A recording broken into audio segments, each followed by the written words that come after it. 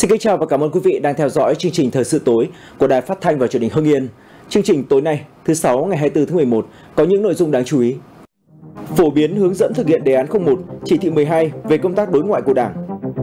Giao ban Ủy ban nhân dân tỉnh về tình hình thu chi ngân sách năm 2023, dự kiến phân bổ ngân sách năm 2024. Chi trả tiền bồi thường làm đường Tân Phúc Võng Phan cho các hộ dân qua địa phận huyện Phù Cử. Nhiều thanh niên sẵn sàng nhập ngũ năm 2024 đốt rác ảnh hưởng đến sức khỏe của người dân. Sáng nay, diễn ra hội nghị trực tuyến của Ban Đối ngoại Trung ương phổ biến hướng dẫn thực hiện đề án 01 và chỉ thị số 12 năm 2022 của Ban Bí thư Trung ương Đảng về tăng cường, nâng cao hiệu quả quan hệ đối ngoại Đảng đến năm 2025, hiệu quả đối ngoại nhân dân trong tình hình mới.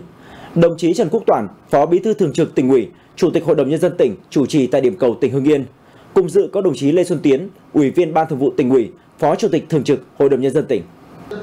Tại hội nghị, các đại biểu được quán triệt đề án 01 của Ban Bí thư Trung ương về công tác đối ngoại Đảng với 5 giải pháp trọng tâm, nghe phổ biến chỉ thị số 12 nâng cao hiệu quả công tác đối ngoại nhân dân, góp phần xây dựng nền ngoại giao toàn diện, hiện đại với ba trụ cột là đối ngoại Đảng, ngoại giao nhà nước và đối ngoại nhân dân.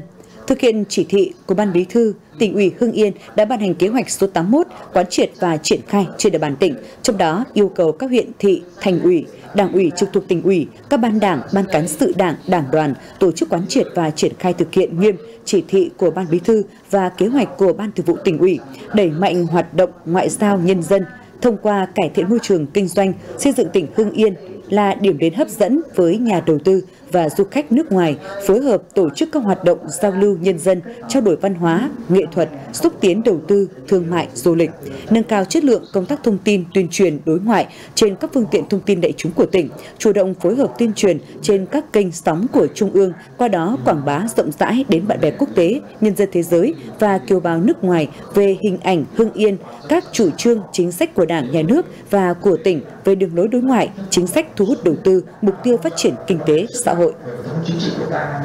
Sáng nay, Ủy ban nhân dân tỉnh tổ chức hội nghị giao ban để cho ý kiến về kế hoạch tài chính ngân sách nhà nước 3 năm 2024-2026, phương án phân bổ dự toán ngân sách địa phương năm 2024 và đánh giá tình hình thực hiện nhiệm vụ thu chi ngân sách nhà nước năm 2023, dự toán ngân sách nhà nước năm 2024. Đồng chí Trần Quốc Văn, Phó Bí thư tỉnh ủy, Chủ tịch Ủy ban nhân dân tỉnh chủ trì hội nghị. Đến hết tháng 10 năm 2023, tổng thu ngân sách nhà nước trên địa bàn tỉnh đạt trên 26.500 tỷ đồng, đạt 116% dự toán, ước thực hiện cả năm đạt 33.000 tỷ đồng, trong đó thu nội địa thu được trên 23.600 tỷ đồng. Thu xuất nhập khẩu đạt gần 3.000 tỷ đồng. Các khoản thu sắc thuế đạt cao là thu từ doanh nghiệp có vốn đầu tư nước ngoài, khu vực ngoài quốc doanh. Riêng thu tiền từ sử dụng đất mới đạt trên 42% so với dự toán. Nguyên nhân là do các dự án bất động sản triển khai chậm nên chưa phát sinh số nộp. Tổng chi ngân sách địa phương đến nay trên 16.000 tỷ đồng. Nhìn chung, tình hình thực hiện và giải ngân kế hoạch vốn năm 2023 của tỉnh kết quả còn thấp so với kế hoạch vốn giao. Mới giải ngân được gần 7.000 tỷ đồng, đạt gần 58% so với kế hoạch Thủ tướng Chính phủ giao. Dự toán ngân sách năm 2024 phân đấu đạt trên 32.800 tỷ đồng, bằng dự toán trung ương giao trong đó thu nội địa đạt trên 29.000 tỷ đồng, chi ngân sách trên 30.000 tỷ đồng. Kế hoạch tài chính ngân sách nhà nước 3 năm 2024-2026 dự kiến thu nội địa trên 64.000 tỷ đồng, thu thuế xuất nhập khẩu trên 11.000 tỷ đồng, chi ngân sách địa phương gần 70.000 tỷ đồng kế hoạch tài chính ngân sách 3 năm được xây dựng dựa trên cơ sở các đánh giá kết quả thực hiện năm 2013, giả định về tăng trưởng kinh tế theo dự kiến mục tiêu của kế hoạch phát triển kinh tế xã hội 5 năm 2021-2025. Các đại biểu thảo luận tập trung vào các vấn đề nhiệm vụ thu chi ngân sách, giải pháp tăng nguồn thu ngân sách, ưu tiên một số khoản chi ngân sách, thu hồi nợ động thuế, kế hoạch tài chính ngân sách, phương án phân bổ dự toán ngân sách địa phương. Phát biểu kết luận tại cuộc họp, Chủ tịch Ủy ban nhân dân tỉnh Trần Quốc Văn ghi nhận biểu dương ngành thuế hải quan đã có nhiều những nỗ lực góp phần bảo đảm nguồn thu ngân sách vượt kế hoạch được giao, hoạt động chi ngân sách cần cố gắng hơn nữa bảo đảm các nhiệm vụ chi của năm 2023, đặc biệt là trong các tháng cuối năm. Giao khoảng trên 31% bình thường. Rất là đáng mừng. Trong cái thu chi ngân sách của năm 2023 thì ta đặt yêu cầu đề ra. Riêng phần chi thì tôi phải nói thế này chi là chúng ta là vẫn còn phải cố gắng tiếp tục từ nay cuối năm còn nữa thì khoảng trên 30 ngày nữa thôi. Nên tôi đề nghị là tất cả đây, các chủ đầu tư, các sở ngành ấy, các huyện, thành phố, thị xã mà đã được giao nhiệm vụ chủ đầu tư và để thực hiện các nhiệm vụ chi trong đầu giải ngân vốn đầu tư công cho hạn thì các đồng chí phải quyết tâm nữa lên hơn nữa để cố gắng là ta đã cam kết với tỉnh là ta giải ngân được 91% là tối thiểu và đến 95% thì các các đồng chí phải thực hiện. Ở đây trong cái nhiệm vụ chi là chúng ta giải ngân chúng ta còn rất là thấp toàn tỉnh hiện nay là đến có năm bảy phần trăm hết tháng 10 thôi Hội đồng Nhân dân tỉnh Hưng Yên vừa có nghị quyết về việc điều chỉnh kế hoạch vốn ngân sách cấp tỉnh quản lý năm 2023. Theo đó, điều chỉnh giảm hơn 500 tỷ đồng vốn đầu tư công đối với 19 công trình dự án đã quyết toán hoàn thành hoặc đang thi công nhưng không có khả năng giải ngân hết kế hoạch vốn giao. Trong đó, gồm nguồn vốn kế hoạch năm 2022 là hơn 145 tỷ đồng, nguồn kéo dài từ năm 2022 sang 2023 là hơn 367 tỷ đồng. Đồng thời, nghị quyết cũng điều chỉnh tăng tương ứng kế hoạch vốn năm 2023 cho 12 công trình dự án với tổng số vốn là hơn 500 tỷ đồng, gồm 9 dự án mới có quy định đầu tư đang chuẩn bị triển khai có khả năng giải ngân vốn và 3 dự án có khả năng giải ngân tốt. Hội đồng Nhân dân tỉnh giao Ủy ban Nhân dân tỉnh tổ chức triển khai thực hiện nghị quyết này, đảm bảo theo đúng quy định của pháp luật, trong đó tập trung chỉ đạo các sở ngành địa phương và chủ đầu tư cần tích cực tập trung cao độ để triển khai thực hiện dự án. Phấn đấu giải ngân hết kế hoạch vốn được giao, đặc biệt là nguồn vốn kéo dài từ năm 2022 sang năm 2023. Phù Cừ là một trong ba huyện của tỉnh Hưng Yên có diện tích cần thu hồi để xây dựng dự án trọng điểm đường Tân Phúc Vọng Phan. Hiện chủ đầu tư là Sở Giao thông Vận tải phối hợp cùng chính quyền địa phương bắt đầu chi trả tiền đền bù cho người dân có diện tích bị thu hồi. Dự án đường Tân Phúc võ Phan đi qua, gia đình ông Nguyễn Mạnh Chiến tại thôn Hoàng Tranh, xã Minh Hoàng phải thu hồi khoảng 3 sào ruộng và di rời 3 ngôi mộ.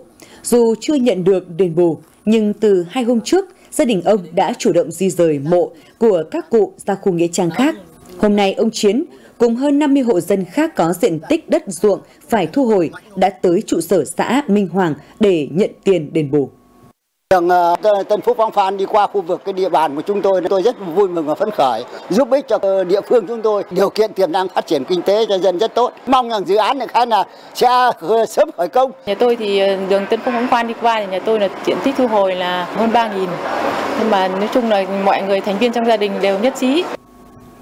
Trong dự án trọng điểm, đường Tân Phúc Võng Phan, huyện Phù Cử có 6 xã phải thu hồi đất là Minh Hoàng, Đoàn Đào, Đình Cao, Minh Tiến, Tống Trân và Nguyên Hòa với diện tích gần 65 ha.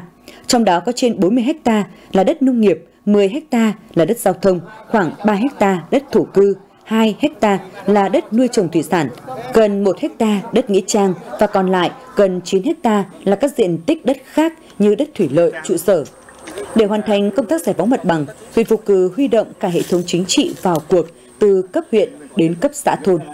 Chúng tôi xây dựng kế hoạch cụ thể, phân công anh em làm việc theo ờ, xã, địa bàn và có cái mốc thời gian và thực hiện theo cái phương châm là dễ làm trước, khó làm sau và làm không kể ngày nghỉ, không kể giờ hành chính. Ban cũng thông tin, tuyên truyền về những cái chế độ chính sách mà bà con nhân dân được hưởng lợi, xử lý kịp thời những cái kiến nghị, cái đề xuất, những cái băn khoăn vướng mắc của các cái hộ dân. Tích cực chủ động triển khai các phần công việc riêng theo chức năng nhiệm vụ của từng cơ quan.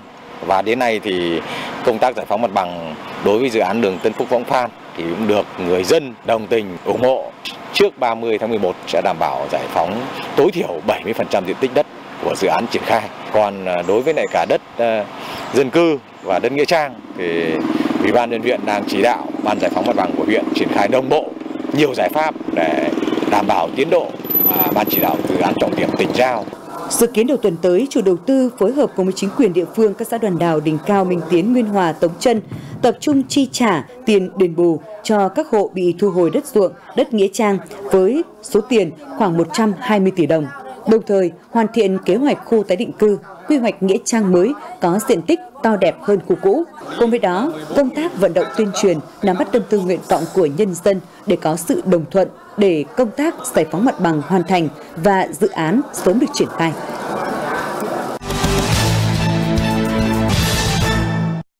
Đến nay, các địa phương đã hoàn thành công tác sơ tuyển làm cơ sở cho công tác khám tuyển gọi thanh niên nhập ngũ năm 2024. Tổng số thanh niên trong độ tuổi được gọi đi sơ tuyển năm 2024 là gần 10.000. Công tác sơ tuyển được tổ chức ngay tại trạm y tế cấp xã như đo chiều cao, vòng ngực, cân nặng, kiểm tra dị tật, chụp ảnh và viết lý lịch. Các thanh niên đã chấp hành nghiêm lệnh gọi, lên điểm khám đạt trên 90%, tỷ lệ sức khỏe bảo đảm tốt, tất cả đều vui vẻ, sẵn sàng nhận lệnh thực hiện luật nghĩa vụ quân sự. Đến nay, huyện Quế Châu đã hoàn thành việc khám tuyển, còn lại các địa phương khác đang chuẩn bị cho công tác khám tuyển tại các cụm thuộc tuyến huyện, thị xã, thành phố, phấn đấu hoàn thành trước ngày 31 tháng 12 năm nay. Chúc quân số phát lệnh gọi nhập ngũ trước ngày 10 tháng 2 năm 2024. Năm 2024, chỉ tiêu gọi thanh niên nhập ngũ thực hiện nghĩa vụ quân sự và công an nhân dân là trên 2.000, tăng 50 người so với năm ngoái. Thưa quý vị, xây dựng và bảo vệ Tổ quốc là trách nhiệm của mỗi người dân chúng ta, là nghĩa vụ cao cả của thanh niên trong độ tuổi từ 18 đến 27. Những năm qua, cơ bản thanh niên ở tỉnh ta đều đã rất hăng hái lên đường thực hiện nhiệm vụ này. Đặc biệt, trong đó có nhiều thanh niên là con em đảng viên, cán bộ chủ chốt đã và đang gương mẫu đi đầu thực hiện nghĩa vụ của mình. Ngay sau khi hoàn thành chương trình đại học, đang trong thời gian chờ lấy bằng, Lê Vinh Quang, sinh năm 2000, con trai thứ hai của ông Lê Văn Lượng, Chủ tịch Ủy ban Nhân dân xã Đông Ninh, huyện Khói Châu, đã nhanh chóng trở về quê để kịp dự tuyển nghĩa vụ quân sự năm 2024. Ông cháu, bố cháu, anh cháu đều đã nhập ngũ rồi. Nên là cháu cũng lần này cũng sẵn sàng tham gia quân đội phục vụ Tổ quốc. Nếu như mà bên quân đội cho phép cháu, cháu sẵn sàng phục vụ quân đội lâu dài. Cháu lớn thì cũng đã nhập ngũ và đã ra quân và cháu thứ hai thì hiện nay là cháu cũng đang quyết tâm nếu đủ điều kiện sức khỏe thì cháu sẽ lên đường nhập ngũ năm 2024 này. Con mình phải là tiên phong đi đầu thì mình mới vận động được những người khác. Tương tự như vậy, năm nay trên địa bàn huyện Văn Giang có 4 thanh niên là con cán bộ chủ chốt các xã và một thanh niên con cán bộ chủ chốt một sở đã tham gia sơ tuyển và nhận lệnh khám tuyển vào ngày mùng 8 tháng 12 tới. Bà Vũ Thu Hà, Phó Bí thư Thường trực xã Mễ Sở rất vui khi cầm trên tay lệnh gọi khám tuyển nghĩa vụ quân sự của con trai mình là Vũ Duy Hiếu bởi nếu trúng tuyển, thanh niên sẽ có cơ hội để tiếp nối truyền thống của gia đình và người bố là sĩ quan vừa nghỉ hưu. Thì bản thân cháu cũng sẵn sàng đi được nhập ngũ. Thế và khi trao đổi với cháu thì gia đình cũng động viên cháu. Rồi nếu như con trúng tuyển thì con lên đường nhập ngũ thì sau 2 năm con trở về ở địa phương thì là con ờ, cũng sẽ tiếp tục cái công việc của mình. Đây cũng là nghĩa vụ và cái trách nhiệm của người công dân. Còn đây là hình ảnh hai năm trước khi chàng thanh niên Đào Duy Khánh, con trai của ông Đào Duy Hiển, Chủ tịch Ủy ban nhân dân xã Vĩnh Xá huyện Kim Động, chuẩn bị lên đường nhập ngũ. Hiện Khánh đang tại ngũ tại Lữ đoàn Công binh 219 tỉnh Bắc Giang. Ông Hiền và gia đình rất vui bởi thời gian trong quân ngũ đã giúp cho con trai ông cứng cáp, rắn giỏi và mạnh dạn lên rất nhiều.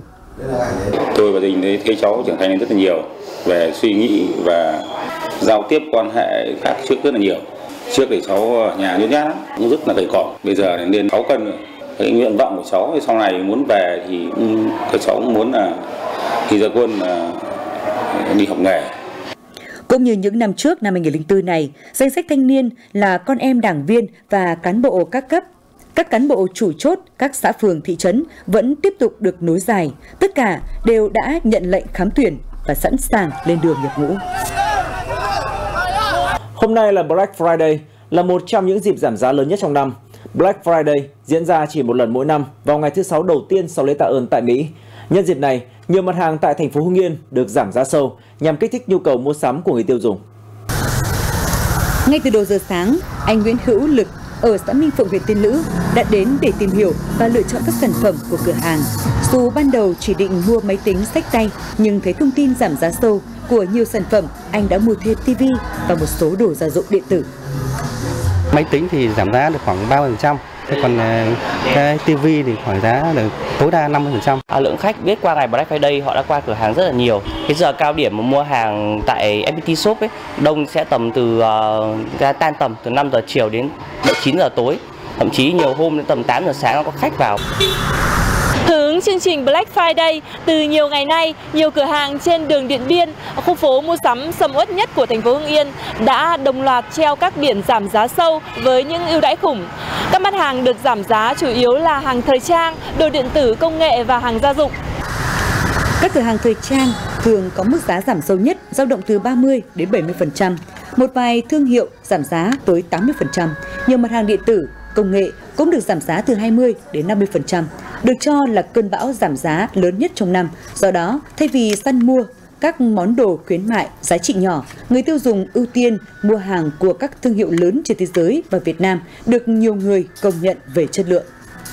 Ở những ngày à, bình thường giá nó hơi cao đối với tôi, thì là nhân cái ngày à, Black Friday thì mỗi năm chỉ có một lần. Có những sản phẩm thì được giảm giá tận tới 50% là tôi rất hào hứng về điều đó. So với năm trước thì năm nay à, kinh tế nó sẽ khó khăn hơn và lượng khách sẽ vắng hơn mọi năm nhưng mà so với mấy ngày hôm nay, đầu, từ đầu tháng đến bây giờ thì năm ngày hôm nay nó sẽ doanh số sẽ có tăng hơn.